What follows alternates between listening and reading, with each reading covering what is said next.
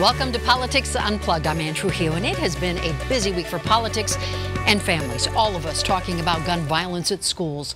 Thousands of students in Colorado and across the nation walked out of class in protest on Wednesday, demanding leaders in Washington take action to protect them at school. And we saw the emotions of our nation on full display in a nationally televised Florida town hall.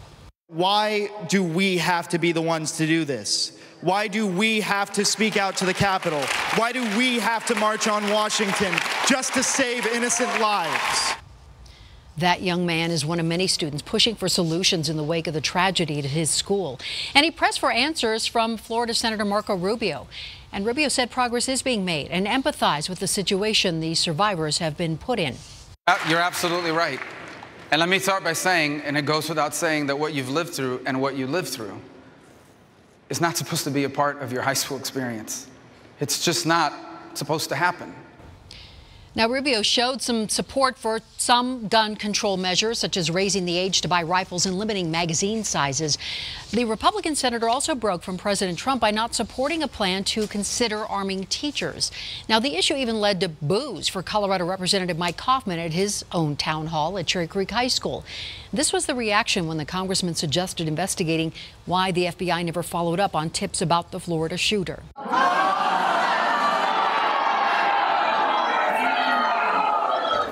One person asked if he would take legislation to get military style weapons off the street, but Coffman deflected.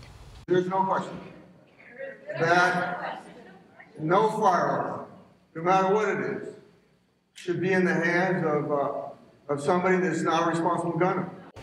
Now, I sat down with the congressman after that meeting and asked him about school safety.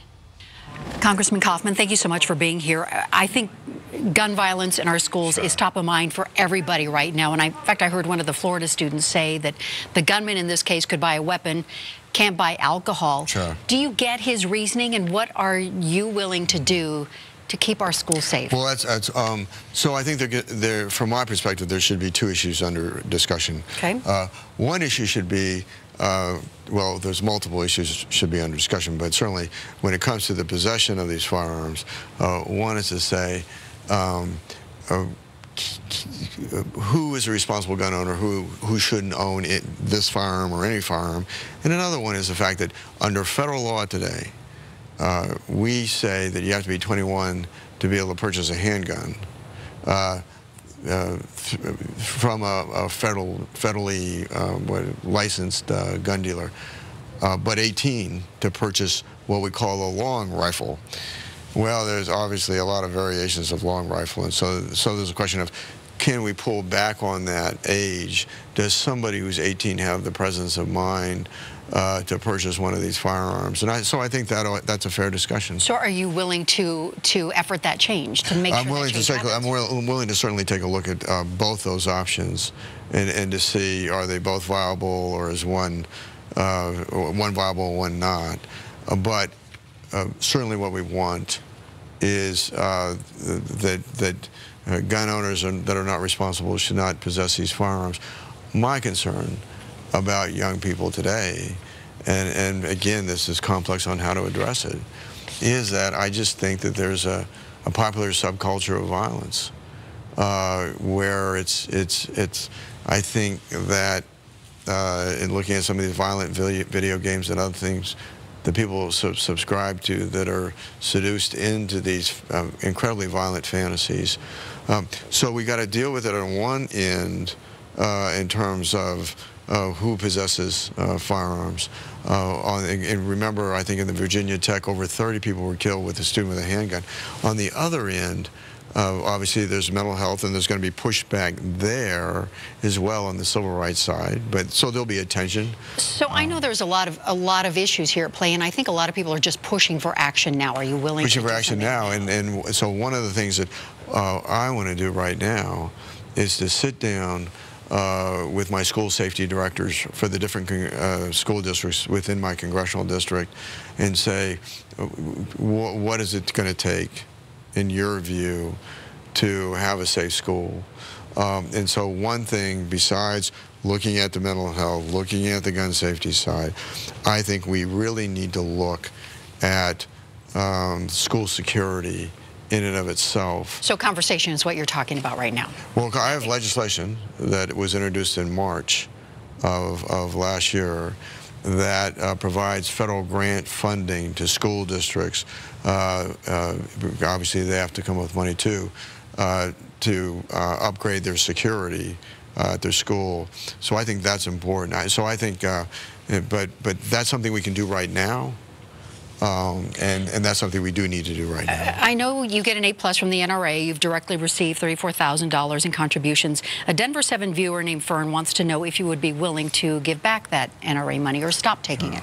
Well, I, I support any group uh, or, or, or, certainly would take support from any group that supports a responsible gun ownership. I mean, they're going to have to make an assessment in terms of what I do uh, in terms of going forward, and they'll decide. Who's they? You mean they, uh, any, your any, constituents any or the NRA? Well, a lot of my constituents are uh, members of the, of the NRA. So uh, she's asking, would you be willing to stop taking NRA money? Well, that um, you know, I, I, just think it's a it's a hypothetical question. Um, they're going to have to decide based on what I do whether or not they want to support what you're me. Saying. Okay. Um, we know that Russia interfered in our last presidential election, yet nothing seems to have changed, and we're uh, hitting November here fairly soon. What can you do to make sure that our right to vote is not interfered with? Well, I think Russia is going to continue. I think we have to assume that Russia is going to continue to, to meddle in our elections. I think what they want to do is uh, try and destabilize our, our political system and, and create chaos and, and, and create uh, a lack of confidence in the outcome uh, by their intervention. What I've uh, co-sponsored is a bill called the Honest Ads Act, and what that does is it updates our campaign finance disclosure laws. Uh, right now, if, if uh, I'm an organization, I'm running an ad on, on Channel 7 uh, for or against a candidate, I have to disclose who I am. Right. Radio the same way. On the internet, I don't. And so what, what this Honest Ads Act does is it updates our campaign finance disclosure laws and requires that same disclosure uh, for internet ads that, that would be required for TV and radio. Some people, some states have suggested paper ballots. Do you think we should go to that? For those of us who go to the polls or want to cast a ballot, make sure that, that our right to vote is preserved? Well, we, we have a, a backup paper ballot here right. in the state of Colorado. I think that's important. Uh, Is that something we should consider, given, oh, the, given the well, situation? We, should, we I think we have a, a, backup paper ballot here, and yes, I think that that absolutely should be used, where we have a physical record that we can use on a recount uh, to be able to do that.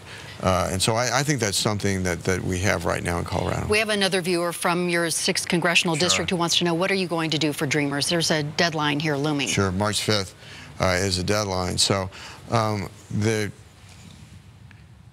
I'm going to support legislation. It probably will be, I don't know if the president, you know, I don't think we're going to get all the president wants.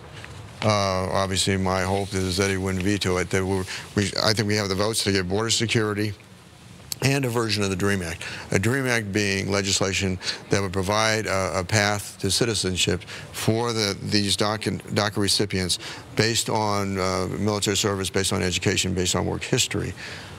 Where my backup is, is if we fail by March 5th, this deadline, where the administration has committed to rescind the renewal of these these uh, mm -hmm. DACA um, permits, uh, is to push forward my Bridge Act.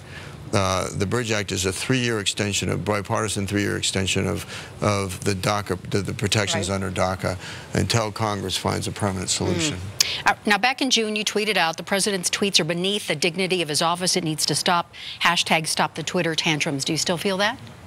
I think so. I think he's a, I think he's a little bit better, but I, I, you know, I think tweeting is a powerful tool for a president to be able to reach the American people directly.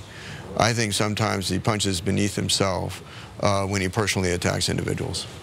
Congressman Coffman, thank you so much for your time. Thank you for having Appreciate me. Appreciate you talking with us. We'll be thank right you. back.